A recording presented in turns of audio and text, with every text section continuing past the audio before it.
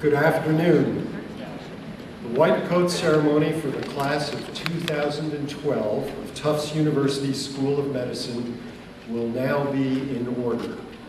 The assembly will remain, uh, will please rise for the invocation, which will be offered by Reverend David O'Leary, the university chaplain. That's not a procedure. It's not an elbow in room number two.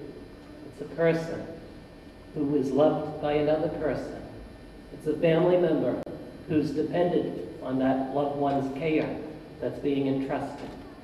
May this day of beginnings and endings, symbolized in the white coat, lead us to realize how much more we need one another, but we cannot do it on our own. Let us all know that the wearers of the white coats need one another. And we ask your help for this day forward, that these practitioners of the arts of healing be your instruments of healing in the world.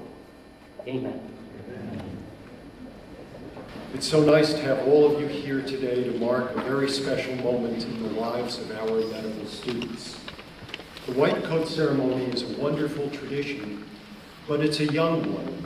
Commencement ceremonies go back centuries. The Hippocratic Oath is a couple of thousand years old, but this is only the 12th white coat ceremony at Tufts.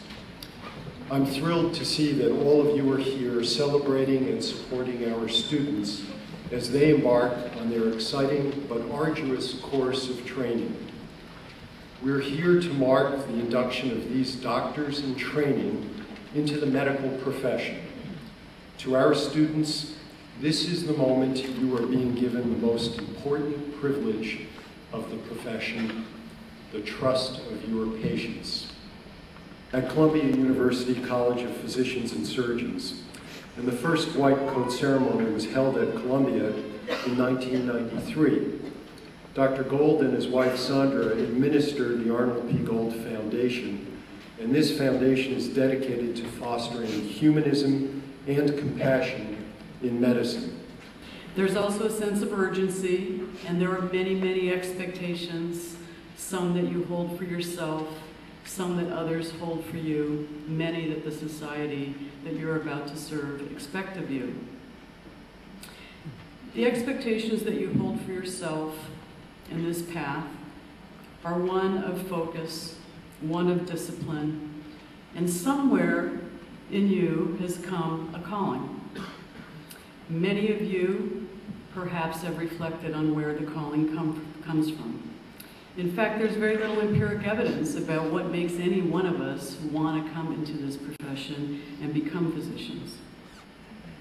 But nonetheless, you've been called to a guild of healers. And somewhere in your own psyche, with the grace of time, you will come to know from where this calling has emerged.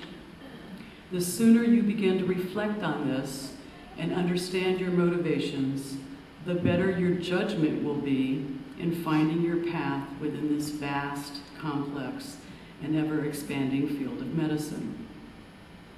What you, will, what you will find is that over the course of the years to come, be they in med school, in residency, or in your medical career, there will be countless occasions for you to take action, to make judgments, and to move through doors where you will find ways to transform yourself your patients, the field, and your communities.